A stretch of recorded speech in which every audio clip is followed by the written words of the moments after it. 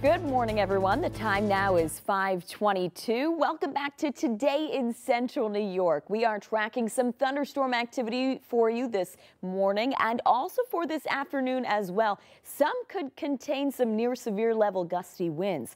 Plus, heat advisories possible heading into tomorrow.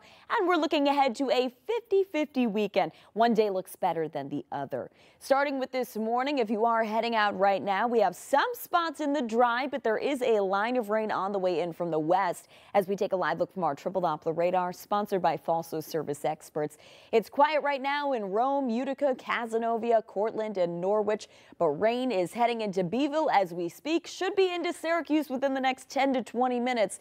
And it's also entering Auburn, Penn Yan and Ithaca, should be reaching Cortland and Cazenovia within the next half an hour. And that's not our only line of rain. We're tracking a couple more batches as the center of the this weather system heads to the south and east through central New York, and it will also fire up some scattered thunderstorms midday today and into the early afternoon, in which some could contain some near severe level gusty winds, especially to the south and east of Syracuse. That will be our best bet at seeing any severe weather for today.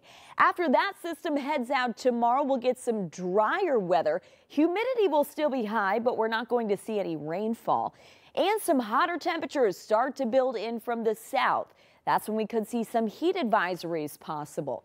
Then our next batch of wet weather will arrive as we head into Saturday, but Sunday looks a lot nicer.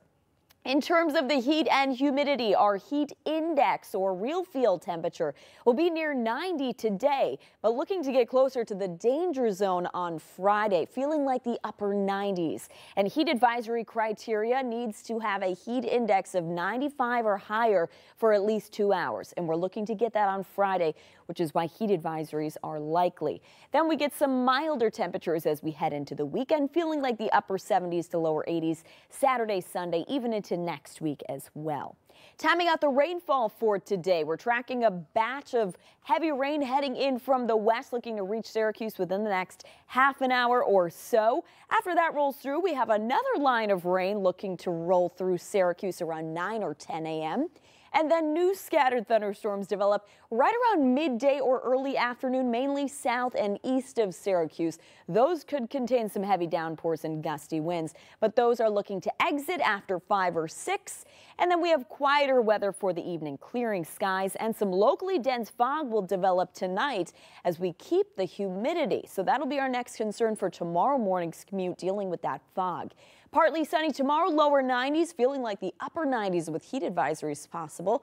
Our next wet weather system Saturday with morning to midday showers and storms, but will be milder for the weekend in the mid to upper 70s. Quiet on Monday, keeping the mild temperatures for next week and just an isolated storm late Monday.